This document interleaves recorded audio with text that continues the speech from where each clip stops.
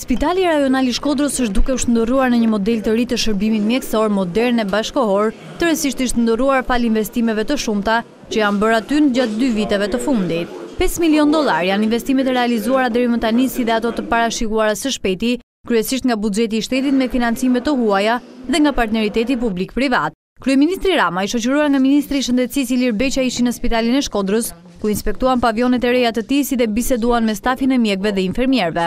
Shërbimi i pediatrisë do të rehabilitojë pacientët e vegjël në një repart tërësisht të ri reanimacioni. Po ashtu, pavioni i kardiologjisë është një prej investimeve më të rëndësishme në këtë spital.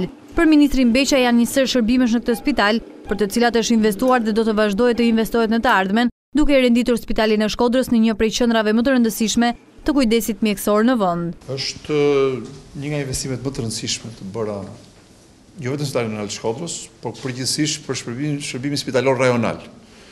Dhe sigurisht që sëmundjet kardiovaskulare për peshën që kanë e meritonin këtë vëmendje, hapim fillim vitit të ardhshëm qendrën e parë të koronarografisë jashtë Tiranës.